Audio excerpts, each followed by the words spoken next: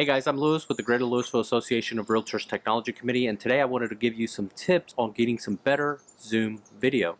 Alright, so first let's start with the video angle. It's always best to have the camera at eye level or slightly higher. This positions your face a little bit better and evenly with your eyes and you get a better angle. Second, lighting. Camera's enemy is lack of light, so you want to make sure you have a good source of light on your face. Now you can do this by sitting in front of a window so you can use some of that natural light.